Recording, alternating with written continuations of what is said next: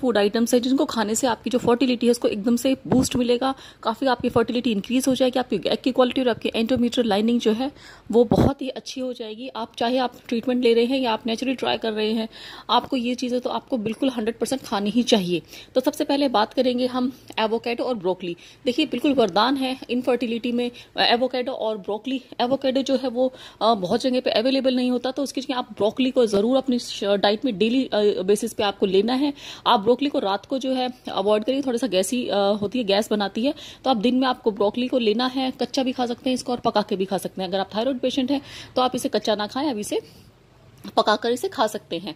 बाकी आप अपने डॉक्टर की इसके अलावा नंबर दो पे मैं बात करती हूँ, तिल की, यानी कि सेसमी सीड्स यानी ये बहुत ज़्यादा अच्छे माने गए हैं। फर्टिलिटी में आपकी एग की क्वालिटी को बहुत अच्छा बना देते हैं। आपकी जो एंडोमेट्रम है, उसको आप इसमें जो ब्लड सप्लाई है, उसकी इंक्रीज होती है। तो आपको तिल ज़रूर खाने हैं। अगर आप सीड साइकिल नहीं भी करना चाहती तो आप तिल ज़रूर खाइए। जो सीड साइकिल है, वो मैंने अपने पुरानी दूसरी जो मेरी वीडियो में लिंक डिस्क्रिप्शन में दे दूँगी। उसमें मैंने आपको डाइट प्रॉपर बताई है और प्रॉपर सीड साइकिल उसमें बताई है मैंने। तो आप वो वीडियो भी देख सकते हैं। अब नंबर तीन पर मैं बात करूँगी अखरोट और बादाम की। आपको ये हंड्रेड परसेंट खाने हैं। अच्छा होगा कि आप इन्हें भिगोकर खाएँ। यानी कि आपको आठ से दस जो बादाम है, भिगोकर खाने हैं।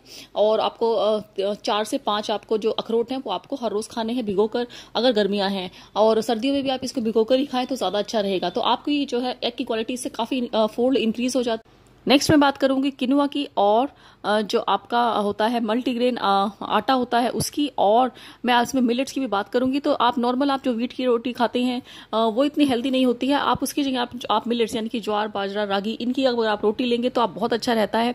और इसके अलावा आप जो किनुआ है, अगर आप उसको अपनी डाइट में शामिल करते हैं तो सुपर फ़ूड है बहुत ही अच्छा रहता है।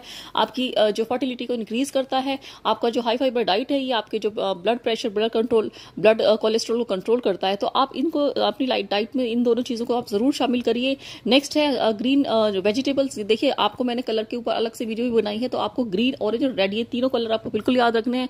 तो ग्रीन कलर की वेजिटेबल्स और ऑरेंज और रेड कलर की वेजिटेबल्स और फ्रूट्स आपको ये बहुत देखकर खाने हैं। तो ग्रीन में आपको सॉफ्ट ग्रीन भी है और हरी पत्तीदार सब्ज़ी सब्ज़ियाँ भी हैं तो आपको मेथी है पालक है और घिया है, तोरी है, परवल है, भिंडी है, और कोई भी आपको ग्रीन जो लीफी वेजिटेबल्स है या फिर आपको ग्रीन कलर की वेजिटेबल आपको देख कर खानी है तो इससे आपके जो है इसमें भरपूर मात्रा में वो सारे न्यूट्रिएंट्स होते हैं जो आपकी फर्टिलिटी को एग की क्वालिटी को इंक्रीज करते हैं।